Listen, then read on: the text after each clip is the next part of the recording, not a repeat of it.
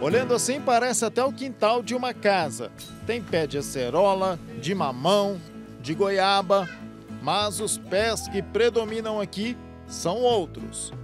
Nós estamos no Lar Jesus Menino, que fica em Aparecida de Goiânia.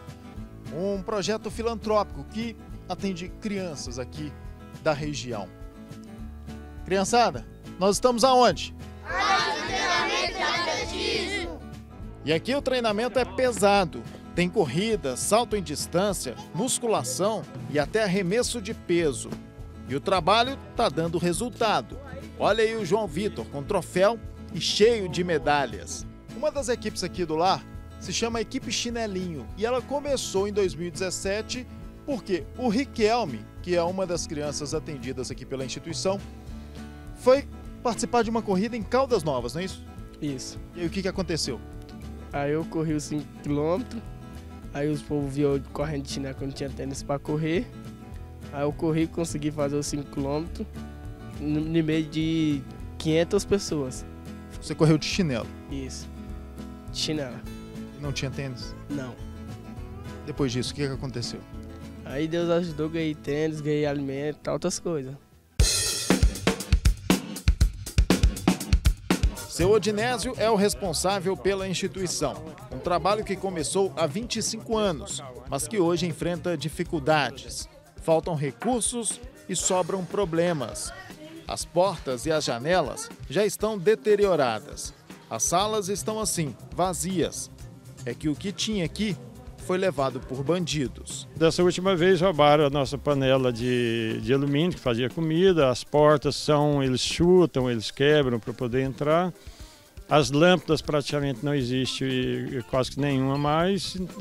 Os telhados também são quebrados, o pessoal entra aqui para pegar raia e outras coisas, então a estrutura precisa de também precisamos de apoio nessa área. Apesar das dificuldades, tudo é festa para esses meninos que muitas vezes não têm o que comer dentro de casa. Aqui eles brincam, praticam esportes e ainda aprendem música e teatro. O xadrez é outra atividade aqui, só que como falta dinheiro, os alunos tentaram desenvolver as próprias peças. A primeira tentativa foi em gesso, mas não deu muito certo não, porque quebra muito fácil. Depois, em acrílico, e aí vieram as peças em chumbo, bastante pesada inclusive. A quarta tentativa foi em tampinhas de plástico. Olha só, eles colaram aqui adesivos, só que também não era muito funcional. E por último, essas peças, feitas em plástico injetável. Tudo isso aqui é reciclado.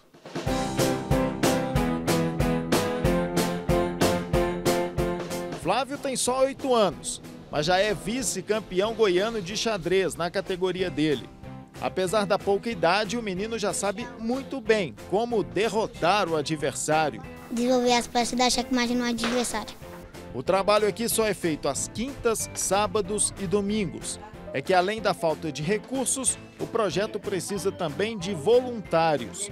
Seu Odinésio sonha com um dia em que ele vai conseguir voltar a abrir as portas da instituição diariamente. pessoal para trabalhar, voluntários que possam vir aqui dar apoio para a gente dividir as turmas, não ficar muita gente num, num local só e a gente ter mais tempo de passar o conteúdo de forma mais precisa, mais correta.